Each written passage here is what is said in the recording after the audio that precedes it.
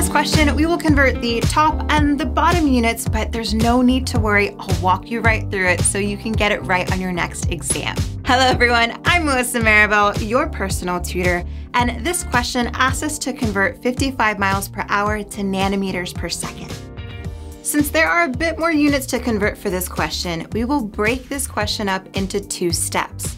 Step one will be converting the top units to nanometers, and step two will be converting the bottom units to seconds. Let's convert miles to nanometers by choosing what conversion factors we'll need. The first conversion factor must have the same unit as our given unit, which is miles. So this is our first conversion factor, and that allows us to get to meters. So now the second conversion factor must have meters in it. We will use the metric system to help us go from meters to nanometers. Here's our proper setup. Start with the given unit of 55 miles on top and hours on the bottom. And there's really just a 1 on the bottom with the hours. Align the given units of miles across so they can cancel. And on top we'll put meters, that was our first conversion factor. Next, align the same unit of meters across, and those will cancel, to get our different unit of nanometers. This was our second conversion factor. Now multiply straight across and divide. We will get this value with nanometers divided by hours as our units.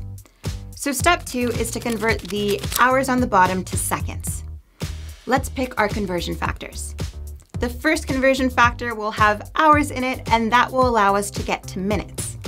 The second conversion factor will now have minutes in it, and that allows us to get to seconds.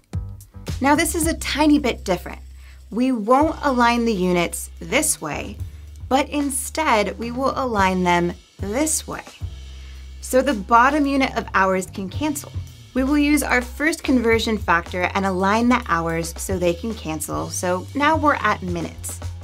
Using the second conversion factor, align the minutes across from each other so they can cancel, and we're left with seconds on the bottom and nanometers on top, which is what we wanted initially. Now divide the 8.9 by the bottom numbers multiplied. And we'll get this value, but make sure to round to two sig figs since 8.9 only has two sig figs. And this is the correct value. You wanna know a secret to acing your next exam?